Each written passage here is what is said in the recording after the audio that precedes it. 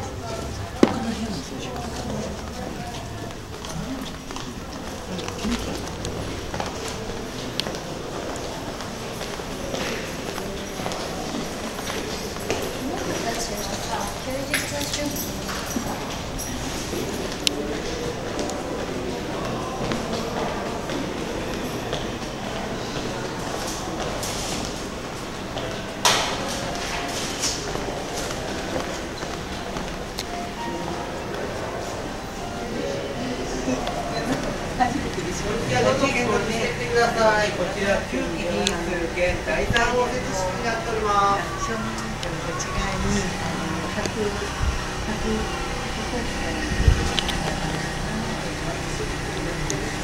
い